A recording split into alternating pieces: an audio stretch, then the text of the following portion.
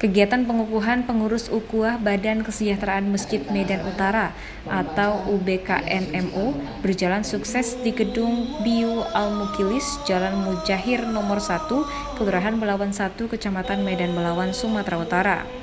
Hadir Ketua MUI Kota Medan Hasan Maksum, Ketua Penasehat UBKM Medan Utara Haji Irfan Hamidi, Ustadz Aswan Rahmidin, Ustadz H. Yusuf, Muspika, Kapolres Pelabuhan Belawan diwakili Kasat Binmas AKP Gunawan dan pengurus UBKM Medan Utara.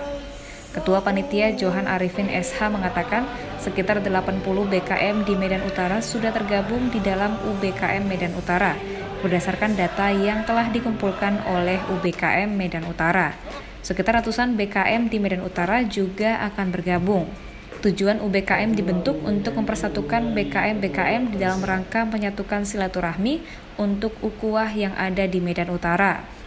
Kegiatan pengukuhan UBKM Medan Utara tersebut menampilkan hiburan nasyid Az-Zikra Kota Medan, sekaligus memberikan 50 sembako terhadap anak yatim oleh UBKM Medan Utara.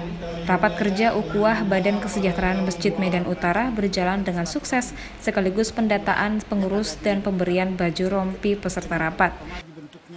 UBKM akan memperkuatkan silaturahim untuk yang ada di Medan Utara saya pikir itu tujuan yang paling utama dibentuknya UBKM Medan Utara. Ya, kira-kira ada berapa masjid yang sudah tergabung di UBKM? Sebagaimana yang saya sampaikan tadi, lebih kurang 80 BKM atau masjid yang sudah tergabung. Dari Belawan, Sumatera Utara, Parsarwan Sitorus melaporkan.